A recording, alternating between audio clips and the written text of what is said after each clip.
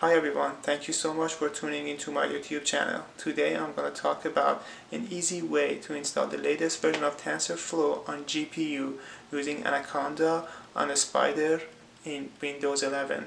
Let's get started. As I said in this video, I'd like to talk about easy way to install the latest version of uh, TensorFlow on GPU using Anaconda on a Spyder in Windows 11 there are quite a few stages that we have to go through. We're going to go step by step. Uh, in the first stage, uh, you have to install the latest NVIDIA GPU driver. Simply go to this website as shown here and download the suitable driver for your GPU. You have to first put in your GPU information and then download and install the, the driver you need. This is a snapshot of that website. Just go into that website and first putting the, the information regarding your GPU and then download the driver that your GPU needs. The second stage is to install the latest Visual Studio community.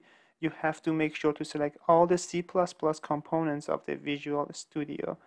Uh, and this is a snapshot of the website. Just go there and download for, for free uh, the Visual Studio community. The third stage is to install the latest version of CUDA Toolkit. To do that, simply go to this website. And uh, this is a, again, snapshot of that website. Uh, as you can see, the latest version of CUDA Toolkit that, that I installed is 11.6.1, which is from February 2022 and uh, just go there and install the download and install the latest version of CUDA toolkit from this website as shown. In the fourth stage you have to download cuDNN. Simply go to this website as shown here but you have to be careful uh, with the version.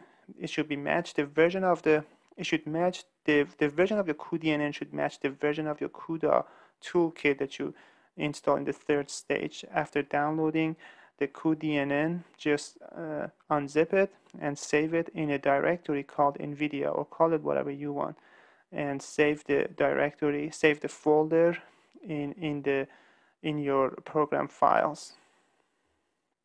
This is a snapshot of cuDNN. First you have to agree to the terms which is from NVIDIA Corporation and download the, the version of the cuDNN that matches the version of the uh, CUDA toolkit that you have already installed. And in the fifth stage, you have to add CUDA and cuDNN to your environment variables. To do that, first look up the environment variables on your computer as shown here. And then uh, on the next window, select environment variables as shown here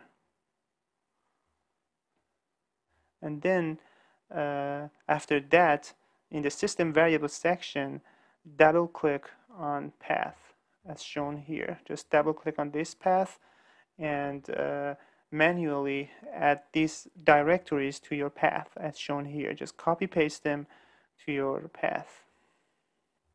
In the sixth stage uh, you have to install zlib this is the stage that is missing from most of the sources out there and that's what I had issues with and I and and I was and I wasn't able to to and I wasn't able to use my uh, Spyder in order to use my GPU. So just simply go to this website as shown here and download and install the zlib. The seventh stage is to install the latest version of Anaconda. This is the simplest stage of all. Just go to the website of Anaconda and download and install uh, the latest version of Anaconda simply on your computer. In the eighth stage, open Anaconda prompt as an administrator. You have to be cautious. I said administrator. And in the ninth stage, create an environment called TensorFlow using the following code. You could uh, create the TensorFlow environment with any other name that you want, but I, I chose TensorFlow so that I know that my TensorFlow is, that, is in that environment. In the 10th stage, you have to activate the environment using the code uh, conda activate TensorFlow. This would allow you uh, to work in your new environment, which is TensorFlow. In the 11th stage, you have to install Spyder using the following code, which is pip install spyder. The nice thing about this simple code is this, this will automatically install the latest version of the Spyder. In the 12th stage, you have to install TensorFlow using the code pip install TensorFlow. In the 13th stage is to check if your system recognizes the GPU. This is the, uh, the stage of the utmost importance because everything you do depends on whether or not your system recognizes the GPU. To do that, in your TensorFlow environment code, code the following coding. Uh, so import TensorFlow as TF and this one. So just write these two in your newly made environment, which is TensorFlow. If the output comes out as true, that means your TensorFlow knows the GPU and could make use of it. If not, you have to go back to the stage 5 and see what you have done wrong there. The, the, the stage where you had to manually put in some path. Either you haven't entered a particular path or you have made a misspelling mistake of some sort. Thank you so much for watching this video. I hope you found it helpful. Don't forget to subscribe and like the video. Have a nice day.